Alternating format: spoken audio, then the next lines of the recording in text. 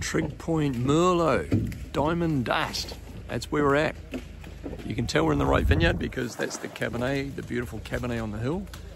And the Diamond Dust Vineyard Merlot is down here on the flat where we have a little bit more clay. And clay is really important because it holds more water and so we don't get as much dehydration. So this is a super old vineyard. It was originally head pruned and now it's up on a trellis.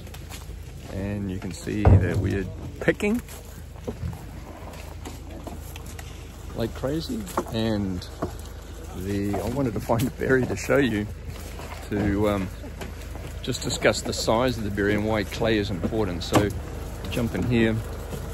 So Merlot normally weighs about 1.2 grams. This Merlot weighs one gram, so it's a little bit smaller, so the skin to pulp ratio is a bit higher.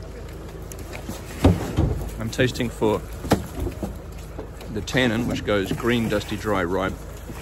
And clearly this is ripe today, hence we're picking. And the flavor sort of goes from the spicy side to the jammier side, and we're right in the middle. So this is, for me, this is very blueberry-like. But um, Point Merlot is it's made in a Pomerol style, so it's got a little sweetness and fleshiness and roundness.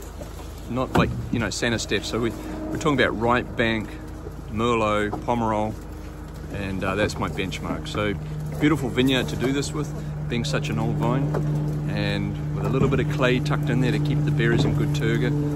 Super old vineyard, really balanced, just amazing. Trig Point Merlot. Looking forward to seeing it on the shelf. Cheers.